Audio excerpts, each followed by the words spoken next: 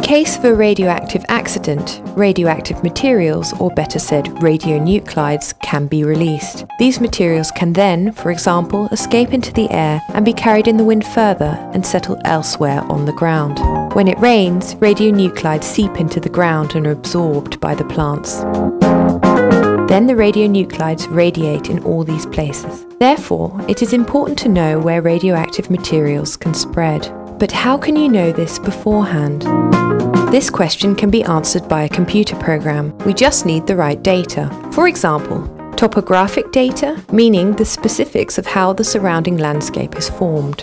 Data about the weather, for example, the average wind speed, direction, and force, and the probability of precipitation. Even individual buildings can be considered in order to calculate the flow of air more precisely.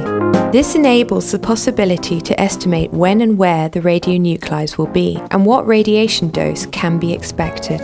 The computer program calculates cautiously, that is, it calculates a slightly higher dose than will more than likely occur. Based on actual measured values, it is possible to calculate backwards, so it can be determined where the radioactive materials originate from and what quantities were released. In case of an accident, it is always important that all the necessary data are available, both quickly and of course that they're accurate. Otherwise, even the best software would be of no help at all.